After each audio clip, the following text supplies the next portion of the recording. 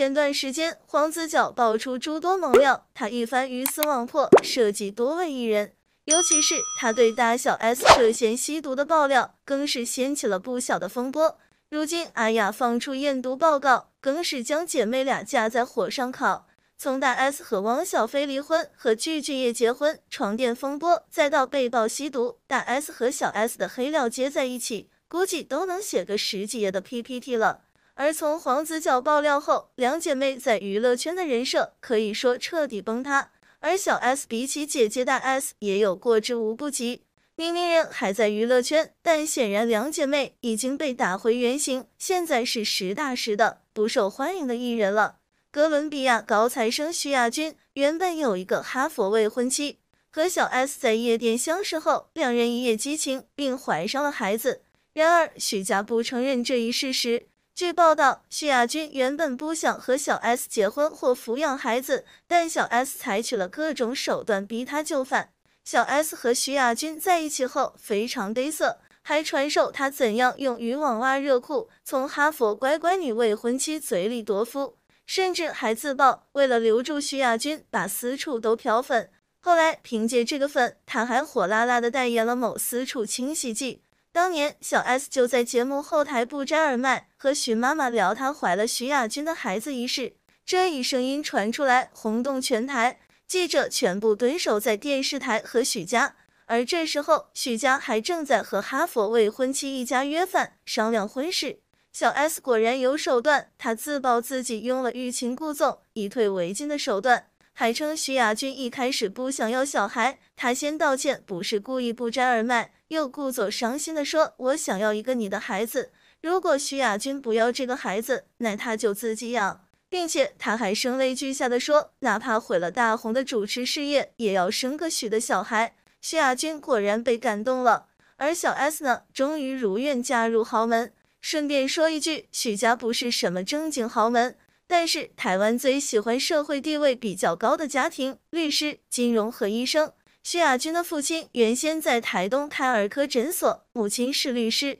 许家这样的医师、医生、律师家庭，在中专学历的小 S 面前还是有光环在的。在婚礼前，她还不忘拉踩一把前男友黄子佼，暗讽黄子佼有眼无珠，不珍惜他。这场带有心机的婚姻，貌似是小 S 赢了，实际上他输得很彻彻底底。大概这个男人从头到尾就没爱过他。也许时间就是有轮回，如今他被黄子佼爆各种黑料，恐怕也是可怜之人必有可恨之处。小 S 的主持风格真的大胆，他做过马先生的大腿，剪过费翔的胸毛，关怀过李敖的前列腺，去周杰伦家里闻周杰伦的球鞋，当众舔女艺人的脚，这些无下限的骚操作，确实让节目收视率高升。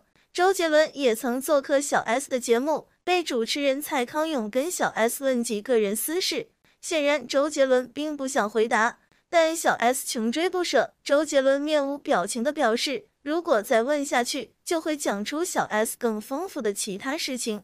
而小 S 见状，立马收回刚才的提问，开始谈论周杰伦的新专辑。坐在一旁的蔡康永很是惊讶，小 S 到底有什么瓜呢？而小 S 知道自己躲不过去，直接自爆说不知道周杰伦会讲出什么，但自己人生确实有很多污点。但周杰伦并没有放弃进攻，直接讲出了小 S 跟范晓萱等人在一起玩的时候有多么的丰富。小 S 这下立马低头闭嘴了。很明显，周杰伦手里有他不敢声张的秘密。当年的性爱派对被警察追上门，被记者围观，一时间小 S 名誉扫地。几个月之后，曝光派对的媒体总编以妨害秘密罪被判刑四月，罚款十点八万新台币。也就是说，不是媒体拍摄照片的内容虚假不实，而是他们的拍摄涉嫌侵犯了艺人隐私。当时周杰伦所说的玩得很开，到底是什么？很多网友都表示费解。直到黄子佼爆料后，大家才恍然大悟。这些年，徐亚军和小 S 千疮百孔的婚姻，大家都看在眼里。二零一三年，小 S 老公徐亚军投资的面包品牌被发现含有九种香精。事件爆出之后，作为代言人的小 S 即刻成为众矢之的，她只能代父公开道歉。最后，老公徐亚军被判无罪，成功脱险。但是她的公公却因为内线交易被判处一年十个月。小 S 以为自己无限付出就会得到老公的宠爱，只可惜这个男人也许从开始就一点也不爱她。她婚后有两套房产，一套在公婆名下，一套在她老公徐亚军名下。这两套房产价值在七千万左右，而她名下房产为零。这么多年来，她主持节目、接代言挣钱养家，婚后家庭花费都是她支撑。而她的老公呢，屡次被排出入高级会所，甚至当街激吻辣妹，小 S 却一次次为她开脱，一次次为她追生儿子无果。从二零零五年和小 S 结婚以来，老公徐亚军几乎是把偷腥当吃饭，每一次小 S 都会成为他放浪形骸的挡箭牌。就这样，他还要挨打。在节目中，小 S 用开玩笑的语气诉说着最残酷的事实。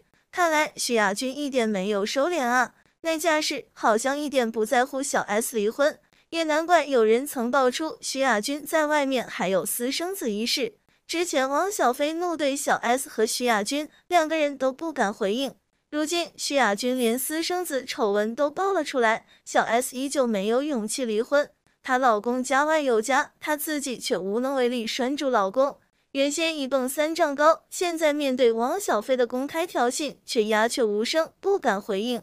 难怪网友说她只会在自己姐姐的婚姻里上蹿下跳，自己的婚姻却一塌糊涂。想想这一家人，当三出轨、家暴齐聚，也算是进对门了。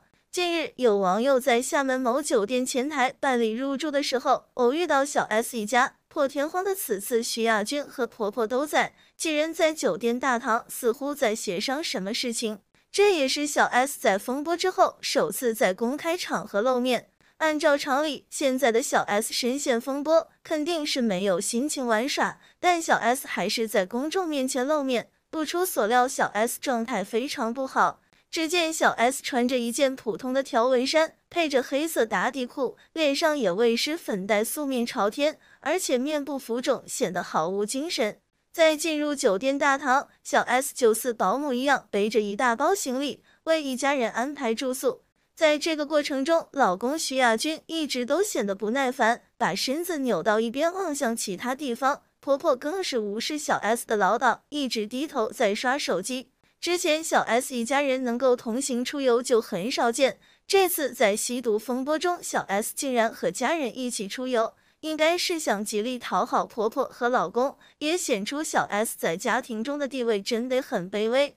不同于小 S 的是，自从爆出吸毒，大 S 一直都是消失状态，始终都不露面，但实际上她一直都很忙，忙着和汪小菲明争暗斗。前夫汪小菲在大 S 爆出吸毒的第一时间，便奔赴台北去接娃，但似乎没有那么顺利。先是大 S 同意可以带俩娃回京过暑假，但却在临上飞机之前反悔。大 S 和其母亲狮子大开口，向汪小菲索要六千万保证金，担心手里最后一张王牌也被汪小菲夺走。但俩娃愿意跟着汪小菲走，很巧合的，也是阿雅晒出检测报告的同时，张兰直播间传出好消息，称汪小菲已经带着儿女成功回京，并且已经在机场高速路上了。不管怎么样，所有的事情终有大白于天下的时候，大小 S 有今天也是有因必有果，出来混迟早都是要还的。荒唐的婚姻会冠上爱的名义，进行过度的美化。对待婚姻，大 S 她可以做到完全脱离，删除记忆一样重新来过。不过，她以为的离婚是王小飞提供不限额的抚养费供她挥霍，吞掉她的财产，她再用她的钱去养光头，然后和妹妹时不时的再讽刺一下这个蠢前夫。但是万万没想到的是，她的骚操作把前夫逼急了，跟他撕破脸了。大 S 自己也面临着人财两失，晚节不保。而小 S 自动穿上枷锁，不愿再走出围城一步。小 S 当年逆取得到的东西，逆手是必然失去的。说到这里，不免要感慨一下，小 S 终究没逃出她母亲的宿命，家庭结构和丈夫品性都像复制粘贴的。同样找了个出轨男，同样重男轻女，又同样生了三个女儿。